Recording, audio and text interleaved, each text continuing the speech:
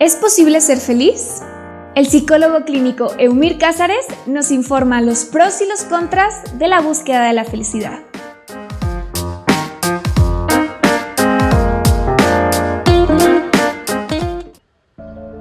Pascal Bruckner, en su libro La euforia perpetua, nos establece una crítica bastante aguda y sobre todo bastante importante al respecto de la realidad,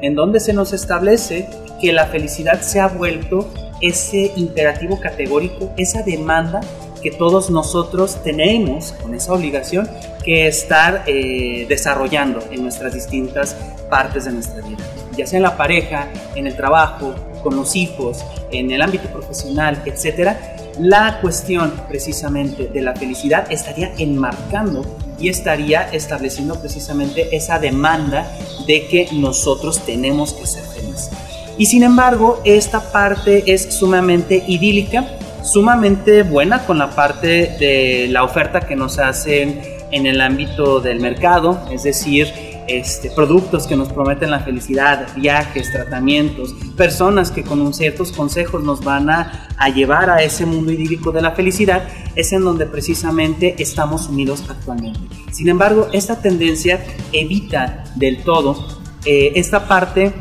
de las cuestiones que no se considerarían buenas para las personas. Es decir, la soledad, el enojo, la tristeza, los celos, todo eso de alguna manera entraría en una caja que nosotros, según este tipo de tendencias, tendremos que arrojar y de la cual tendremos que señalar como algo malo, como algo que no de alguna forma estaría bien dentro de la humanidad, lo cual al final de cuentas es totalmente equivocado,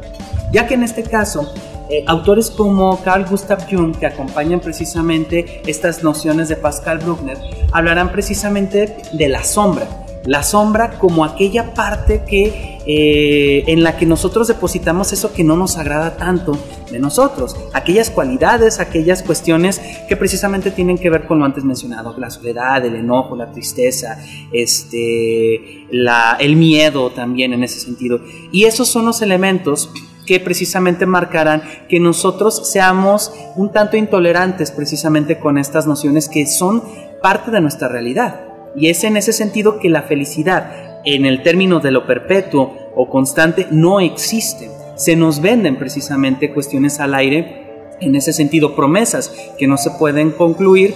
y que al final de cuentas lo que sí nos van generando es frustración, es ansiedad, ese enojo precisamente porque ese paraíso que se nos promete a través de la felicidad no lo podemos alcanzar. Y es en este sentido que es importante que nosotros establezcamos una postura crítica al respecto que qué tanto es importante llegar a esa promesa que no puede cumplirse, como es la felicidad, a simplemente vivir, vivir con todo lo que se nos presente, vivir con todo con lo que se nos vaya este, desarrollando en nuestro acontecer cotidiano. Es en ese sentido en donde Pascal Bruckner, en este texto imperdible, nos va a presentar la alternativa de mejor vivir en vez de ser feliz.